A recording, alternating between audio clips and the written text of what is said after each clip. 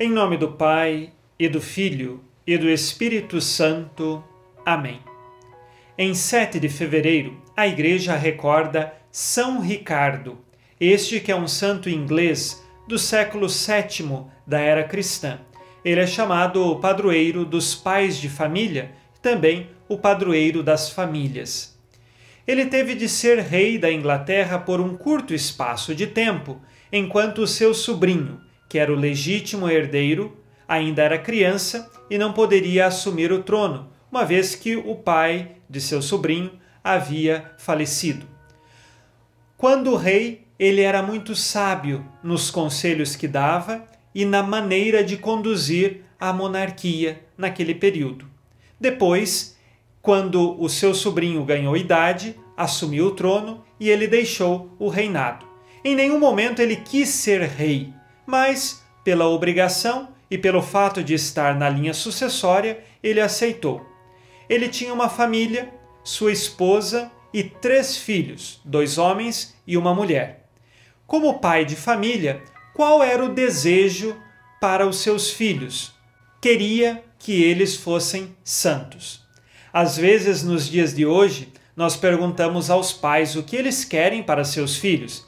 Ah, que eles tenham um bom emprego, que eles consigam estudar, que tenham saúde, que acertem o caminho na vida.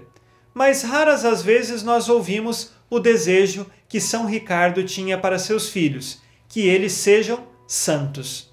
São Ricardo, ele ficou viúvo e aí com os três filhos, ele continuou a educação em vista da santidade.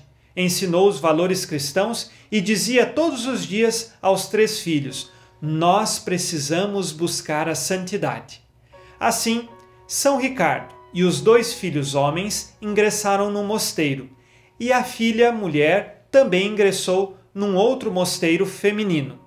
E eles continuaram a crescer na vida espiritual e na virtude. Aconteceu que São Ricardo e os seus dois filhos se tornaram sacerdotes e tinham a intenção de fazer uma peregrinação, visitando os túmulos de São Pedro e São Paulo em Roma e também indo à Terra Santa.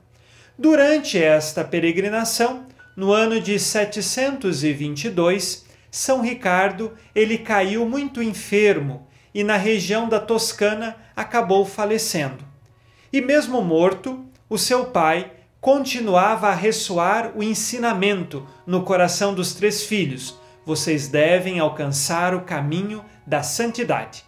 Dos três filhos de São Ricardo, um deles se tornou bispo, o outro se tornou abade e a filha se tornou uma abadesa de outro mosteiro. Os três são reconhecidos como santos na igreja. Quer alegria maior a São Ricardo, lá no céu, de ver que seus filhos também se tornaram santo, como ele sempre desejou aqui na terra. Por isso, então, ele é padroeiro dos pais de família, padroeiro das famílias. Lembrando que no seio da família, o objetivo primeiro daqueles que são cristãos é de alcançar a santidade. Rezemos pedindo a intercessão de São Ricardo pelas nossas famílias, pelas dificuldades que enfrentamos, pelas tribulações, mas especialmente para que todos encontrem o caminho da verdadeira conversão, da santidade e da vida nova da graça que vem de Jesus Cristo. Rezemos com você e por você.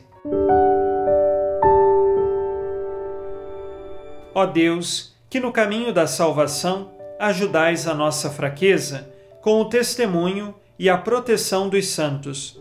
Concedei que ao celebrar São Ricardo, cheguemos até vós seguindo seus exemplos, que por suas preces alcancemos segundo a vontade de Deus o que pedimos nesta oração.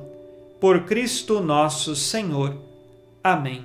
Ave Maria, cheia de graça, o Senhor é convosco. Bendita sois vós entre as mulheres, e bendito é o fruto do vosso ventre, Jesus. Santa Maria, Mãe de Deus, rogai por nós, pecadores, agora e na hora de nossa morte. Amém. São Ricardo, rogai por nós.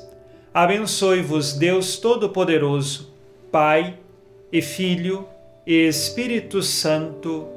Amém. Fique na paz e na alegria que vem de Jesus.